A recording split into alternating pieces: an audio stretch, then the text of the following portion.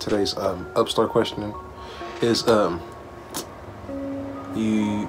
What do you tell yourself when you're feeling stressed and you're feeling down? Like you know what what helps you?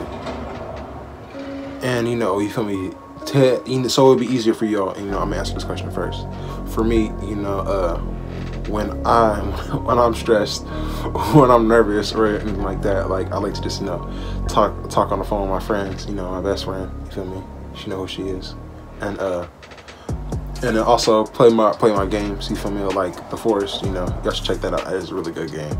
I, I, personally, I say I'm not a very stressed individual. You know, I just go with the flow. You feel me? And then you know, but like but everybody's different, so you know,